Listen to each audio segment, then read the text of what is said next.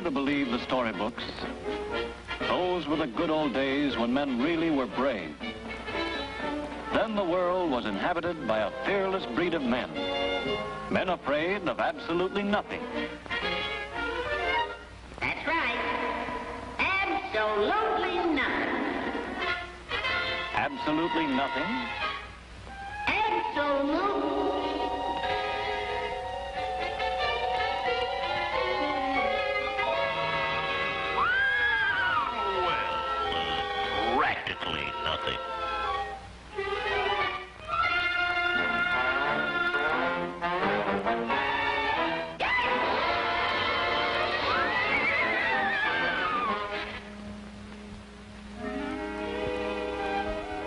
Yes, ever since the world began, men have been scared.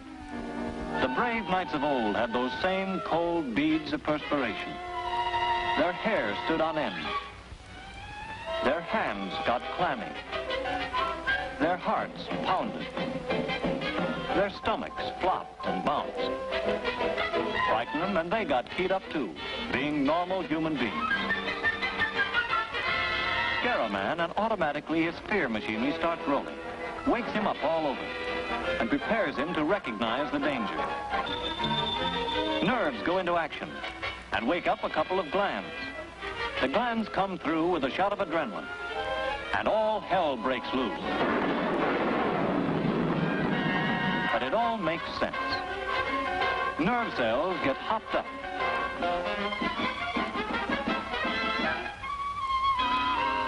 You see more clearly.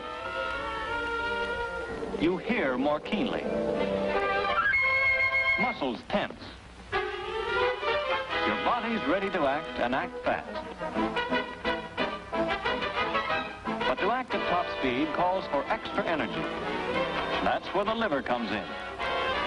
This is the fuel tank. The fuel is sugar. And here's where it's stored. Getting scared gets it out. Out through the bloodstream to your muscles that need it. To get it there quicker, your heart pumps faster and you breathe harder. Bringing in more oxygen to change that sugar into strength. And here we are. Scared? Yes, but ready. Ready either to get away from the danger or stay and fight with extra strength. That's the best thing about fear. You can make it work for you instead of against you.